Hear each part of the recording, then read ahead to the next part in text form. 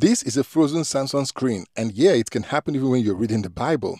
So, there are a whole lot of things that can cause this app crashes, internal crashes, system failure, uh, display drivers, screen issues, flex, and all of that. This screen is not responding, the touch screen. And as you can see, the power button is working and still the touch screen is not working. And also the fingerprint is working. So there are many ways to go about, you know, fixing this, uh, but I'm going to show you the easiest way.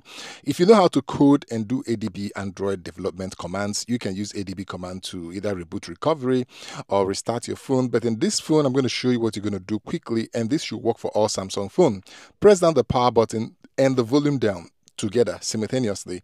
so you press and hold down the volume and the power button. The power menu will pop up. Still keep holding it for about seven to eight, ten seconds. Uh, the phone will be forced to restart. And this is you know handy if you're in a place where you can't reach a computer or any other thing you just restart the phone.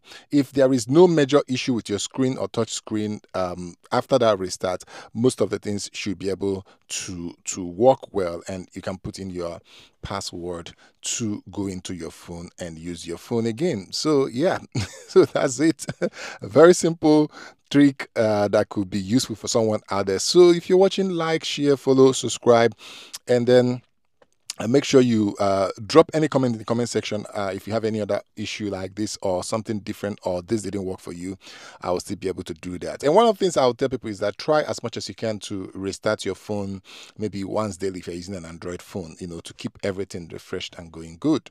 So make sure you follow me here subscribe until i see you in the next one